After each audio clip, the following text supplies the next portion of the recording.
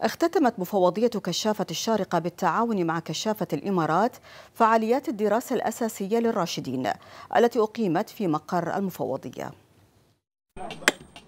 على مدار ثلاثة أيام أقيمت هذه الدراسة الأساسية للراشدين التي نظمتها مفوضية كشافة الشارقة وتهدف إلى تعريف المشاركين بأساسيات الحركة الكشفية وأسس بناء اللوائح والنظم الداخلية وفقا لمتطلبات الكشافة فيما جاءت بالتعاون مع كشافة الإمارات.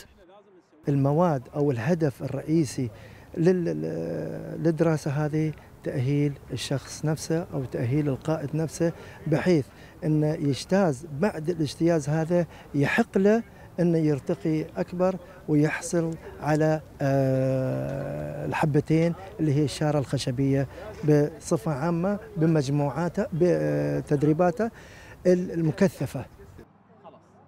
نخبة من المدربين يشرفون على المنتسبين بهذه الدراسة التي تعلمهم مهارات حياتية مختلفة وتصقل شخصياتهم. فهنا ورشة مهارات وفنون كشفية تعلم المشاركين نصب الخيام واستخدام العصا وغيرهما من المهارات. المهارة الحالية هي مهارة استخدام العصا الكشفية. العصا الكشفية هي أساس وصديق لكل كشاف ولكل مرشدة داخل المخيمات فهو ليس له غنى عنها. باستخدام العصا الكشفية واستخدام الحبال ممكن عمل مجموعة من النماذج الخاصة بالمخيمات خاصة عمل المناشر الخاصة عمل النماذج سارية العلم ممكن تستخدم فيها العصا الكشفية. طبعا كان عندنا عن السجلات وتكوين الفرقة. طبعا تكوين الفرقة هي المدرسة يعني محتاجة تعرف شلون تكون الفرقة.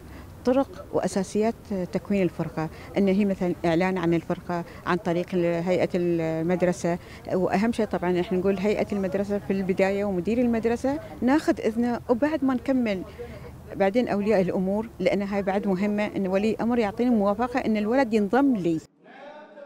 الحركة الكشفية في الدولة تحظى برعاية ودعم من صاحب السمو الشيخ الدكتور سلطان بن محمد القاسمي عضو المجلس الأعلى حاكم الشارقة لدورها في خدمة المجتمع وإنشاء جيل واع متسلح بأدوات القيادة والتعامل مع الصعوبات.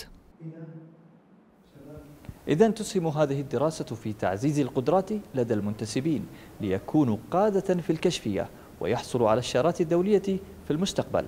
لأخبار الدار وليد الأصبحي الشارقة. عاش الخليج عاش الوطن عاش الوطن